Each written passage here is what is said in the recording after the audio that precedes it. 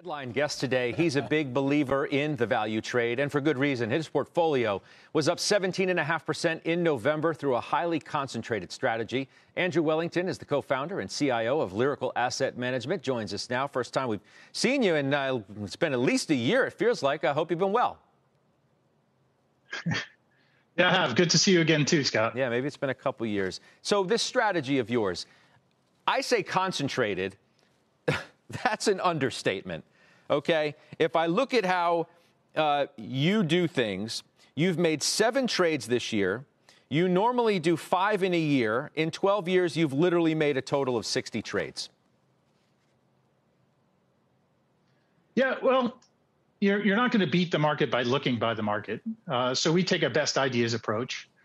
And we still have 30 stocks in the portfolio. And if you look at the academic research on diversification, if you own 30 different stocks in a portfolio, you're getting almost all the benefits of diversification you would get from a much larger portfolio of 100 or more stocks.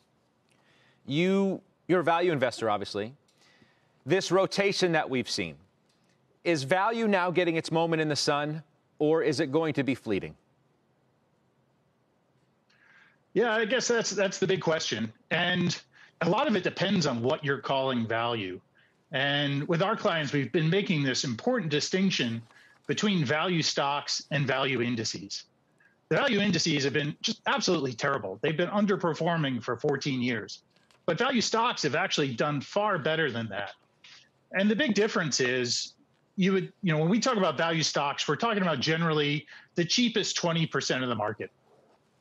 And you'd think the S&P 500 value index would be something like that, say the 100 cheapest stocks in the S&P 500. Well, those 100 cheapest stocks are in the S&P 500 value, but so are about 300 more stocks. There's almost 400 stocks in the S&P 500 value index. That's nearly 80% of the stocks in the S&P 500. So you don't really get value stock returns from the value stock index. If you look at how value stocks have done, they did great coming out of the financial crisis. They had significant outperformance for nine years, from 09 through 17. Uh, they beat the S&P 500 cumulatively by 175 percentage points.